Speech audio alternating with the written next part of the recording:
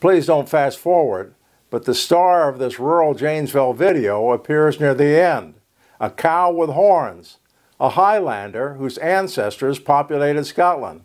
She has many attributes, including being pretty, having long hair to keep her warm, and a pleasant disposition.